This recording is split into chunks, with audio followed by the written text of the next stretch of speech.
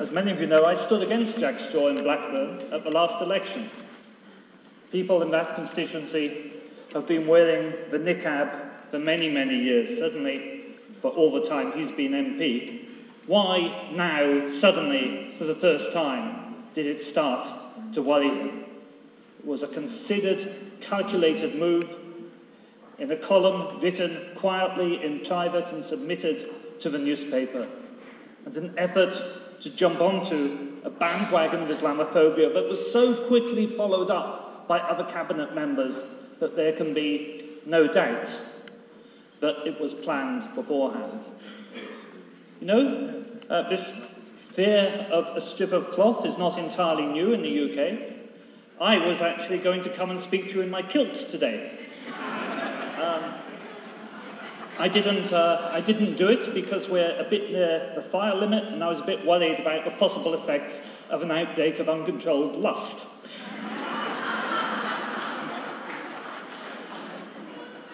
However, 250 years ago, not that long ago, the wearing of the kilt was punishable by death. By 200 years ago, it had got not quite so draconian and it was only punishable by transportation. Why there's so many Craigs in Australia. But that kind of ridiculous attitude to costume is not one I thought we'd see a government in this country attempting to bring back.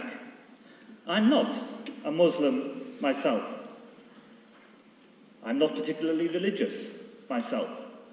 I believe that Islam, like other religions, contains a great deal of its good in its ethical teaching. I also believe that Islam, like other religions, is capable of being perverted by leadership structures for evil as well as for good. I'm not here to defend Islam in particular. I am here to defend everybody's freedom to pursue their own religion, and that is what everybody in this hall believes in.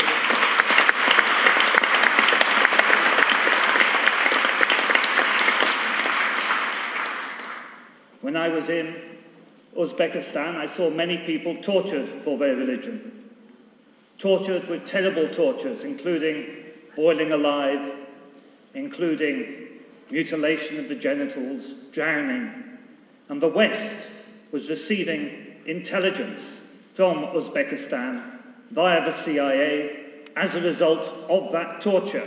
And it's worth noting, when Tony Blair talks and the Americans talk, perhaps we'll open a dialogue with Iran and Syria at the same time that on the surface they've been talking about Syria as the axis of evil. They've regularly been sending Muslims to Syria to be tortured as part of the extraordinary rendition program. That's how genuine their motives are.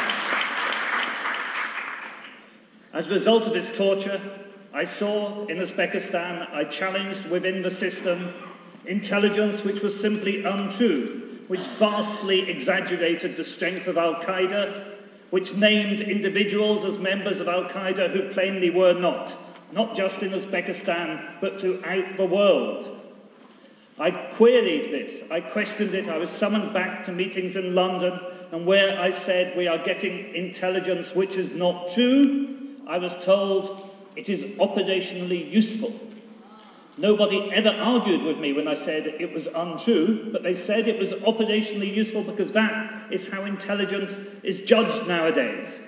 The intelligence on Iraqi weapons of mass destruction was untrue, but it was operationally useful if your purpose was to start an illegal war and false intelligence which vastly exaggerates the strength of Al Qaeda and exaggerates the so called Islamic extremist threat to the UK is operationally useful to them now because they can use it to blacken Muslims and stir up Islamophobia in the UK. And that is what we are now seeing. And when Eliza Manningham Buller claims there are 1,600 active terrorists not sympathisers, active Muslim terrorists in the UK. She is not exaggerating. She is not hyping. She is lying and deliberately lying.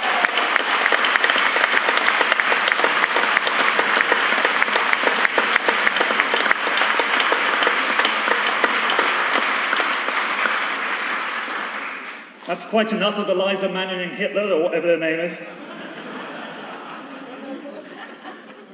You know, we are seeing such a tide of Islamophobia such a tide of Islamophobia stoked by government ministers, not just private individuals, reflected in the media so that anything a Muslim does is front page news, no matter how small, no matter if it's a matter of planning permission for a prayer room in Windsor. That's worse than a murder by a non Muslim.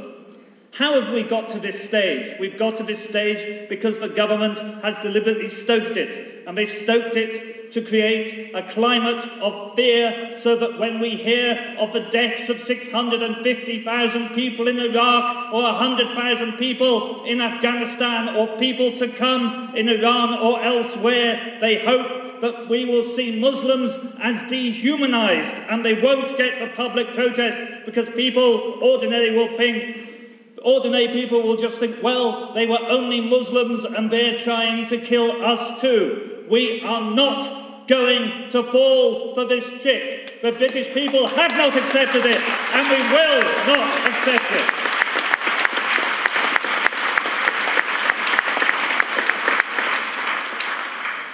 I was not afraid to tell the government hard truths. I have not been afraid to continue to tell hard truths since I left, and I'm not afraid to tell some hard truths which are uncomfortable for us in the anti war movement as well. One of these truths is that sadly the Muslim community is unaware, is sleepwalking towards disaster and is still retaining a pathetic loyalty to the Labour Party, which is persecuting it.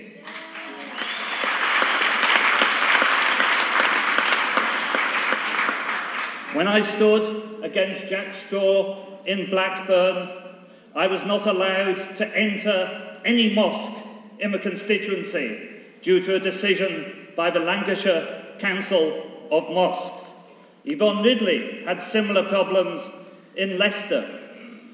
That has not massively changed without huge effort by our part to explain what is happening, to get it over, to get through patriarchal systems, to get through tribal and other loyalties, to involve people in democratic politics in a reasoned way, not a Tammany Hall way. Without that effort, we are not going to make progress. We have to be out there. I see many people at meetings in London. I see many intellectuals from the Muslim community expressing themselves with me on university platforms and in newspaper columns.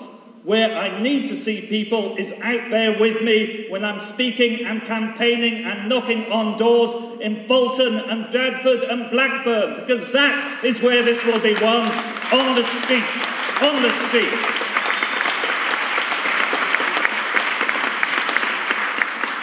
I was a member of the Anti Nazi League back in the 70s and 80s, in the days when Peter Hain and Phil Woolas were on our side of the barricades, not on the side with the racists. I know it can be done. I know Islamophobia can be beaten back, but it's a long, hard, and unglamorous grind, and we need all of us there, in there, fighting together. Thank you.